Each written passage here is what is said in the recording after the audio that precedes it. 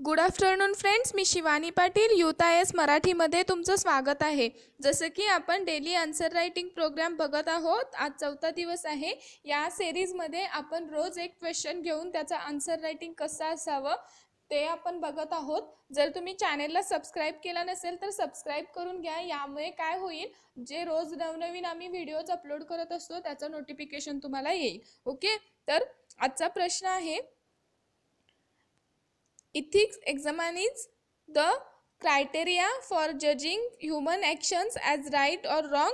What are the various sources of ethics guidance for a civil servant? One fifty वर्ड्समध्ये हे आपल्याला discuss करायचं आहे आणि हा प्रश्न आपल्याला जी एस पेपर फोरमधील थेरोटिकल क्वेश्चन्समध्ये येतो याचं मिनिंग काय आहे तर नीतिशास्त्र मानवी कृती योग्य किंवा चुकीचे म्हणून ठरवण्याच्या निकषाचे परीक्षण करते ओके? तर सिव्हिल सेवकांसाठी नैतिक मार्गदर्शनाचे विविध स्रोत काय आहेत? ओके? खूप महत्त्वाचा क्वेश्चन आहे हा. आपल्याला जी एस पेपर फोरमध्ये थेरोटिकल क्वेश्चन्स म्हणून या हा प्रश्न विचारला जाऊ शकतो. ओके? तर हा प्रश्न लिहिताना आपला अप्रोच काय असला पाहिजे? उत्तरामध्ये काय काय अपेक्षित असलं पाहिजे?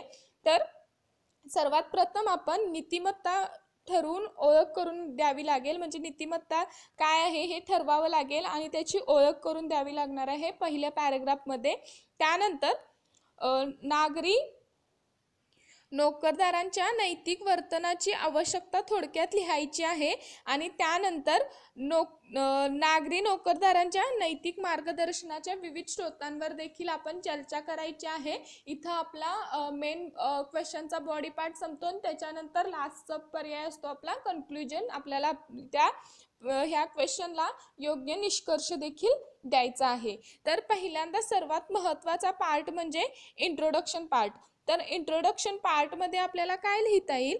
तर नीतिशास्त्र ही तत्वज्ञानाची एक शाखा आहे ज्यामध्ये मानवी कृतीचा न्याय वा चुकीचा विचार करण्याच्या दृष्टिकोनातून पद्धतशीर अभ्यास केला जातो. ओके?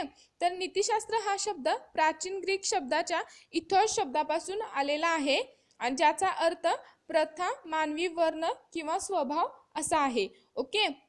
आणखीन काय लिहिता येईल यामध्ये आपल्याला?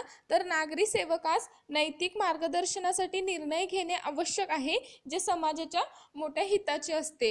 हे आपण इंट्रोडक्शन पार्टमध्ये लिहू शकतो. ह्याच्यानंतरचा मेन पॉट पार्ट असतो तो बॉडी म्हणजे क्वेश्चनची जी बॉडी आहे तो. तर यामध्ये आपल्याला पहिल्यांदा नैतिक मार्गदर्शनाचे जे स्रोत आहेत त्याची चर्चा करायची आहे. तर आपल्याला यामध्ये काय लिहिता येईल? की कोणत्याही नैतिक समस्या किंवा परिस्थितीत कोणत्याही नि निराकरणास पोहोचण्यासाठी असंख्य मापदंड उपयुक्त असल्याचे आढळलेले आहे. सर्व प्रमुख मापदंडांपैकी कायदे नियम आणि कायदे आणि विवेक यांची प्रमुख भूमिका देखील असते. ओके? तर कायदे या पॉईंटमध्ये आपल्याला काय लिहिता येईल? तर नीतिशास्त्रात कायद्याला नैतिक असा अर्थ आहे सेंट थॉमस क्वीन्स यांनी कायद्याची व्याख्या देखील केलेली आहे. जसं की समाजाची काळजी घेणाऱ्या व्यक्तीने जाहीर केलेल्या सामान्य चांगल्या कारणासाठीचे अध्यादेश म्हणजे कायदे असे आपल्याला म्हणता येईल. ओके?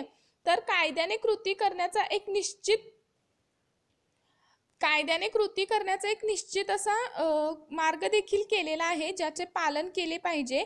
हे लोकांना अब अभिनयासाठी उद्युक्त करते किंवा त्यांना अभिनयापासून रोखते हे आणि असं एक बंधन देखील याद्वारे लोकांना घातलं जातं. ओके?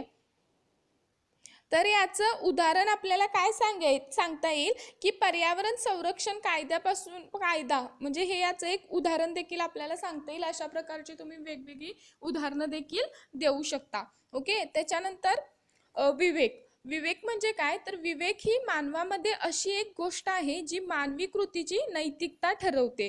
ओके? तर जेव्हा विवेक बुद्धी एखाद्या विशिष्ट कृतीच्या चांगुलपणा किंवा वाईटपणाबद्दल निर्णय घेते तेव्हा ती मानवी किंवा एक खास क्रिया असते जी विशिष्ट ठोस मानवी क्रियांवरील व्यावहारिक निर्णय देखील असते. आणि विवेक हा निर्णय बुद्धीच्या एक बुद्धीची क्रिया आहे ही भावना किंवा भावना नाही तर त्याऐवजी बौद्धिक निर्णय घेण्याचा निर्णय देखील विशिष्ट क्रियेच्या दृष्टिकोनातून घेतलेला एक निर्णय आहे. ओके? तर विवेक भूतकाळातील कृती किंवा घडणाऱ्या क्रियेच्या नैतिकतेबद्दल व्यावहारिक निर्णय देखील घेऊ शकतो. हा सर्व पार्ट आपण मेन बॉडी पार्टमध्ये लिहू शकतो. ओके? आणि ह्याच्यानंतर उत्तराचा सर्वात महत्त्वाचा भाग म्हणजे त्याचं कन्क्लुजन आप लक्षात घ्या प्रत्येक आन्सर रायटिंग करताना क्वेश्चनचा introduction part main body part आणि त्याच्यानंतर आपल्याला उत्तराला योग्य असा निष्कर्ष देखील लिहाय लिहायचाच आहे. त्याच्यामुळे आपला प्रश्न उत्तर खूप उठावदार असं दिसतं. तर निष्कर्षमध्ये आपल्याला काय लिहिता येईल? तर एखाद्या सिव्हिल सेवकाद्वारे अधिकाराच्या व्याया व्यायामासाठी उच्च नैतिक निकष पूर्वीपेक्षा आवश्यक आहेत. आणि हे एका नागरी सेवकाला अशांत काळात निगेटिव्ह करण्यास देखील मदत करते. तर एखादी व्यक्ती तिच्या कृती वागणूक किंवा आणि आचरण एका नि नीतिनियमित चौकटीवर आधारित असल्याचे सुनिश्चित करण्यासाठी कायदे नियम नियम नियम आणि विवेकाचा मागोवा देखील घेऊ शकते. ओके? हे असं या प्रकारचं कन्क्लुजन आपण या क्वेश्चनला देऊ शकतो ओके तर हा आहे हा ह्या अशा प्रकारे तुम्ही या क्वेश्चनचा आन्सर देऊ शकता ओके तर याबद्दल जर तुम्हाला काही क्वेश्चन सजेशन सूचना वगैरे असतील तर तुम्ही खाली कमेंट बॉक्समध्ये मला सांगू शकता. या क्वेश्चनची जर तुम्हाला पी डी एफ हवी असेल तर तू तुम्ही आमच्या the youth I S official Marathi या टेलिग्राम चॅनेलवरून देखील डाउनलोड करू शकता ओके आणि लेक्चर आवडल्यास लाईक शेअर अँड सबस्क्राईब करायला विसरू नका. Thank you.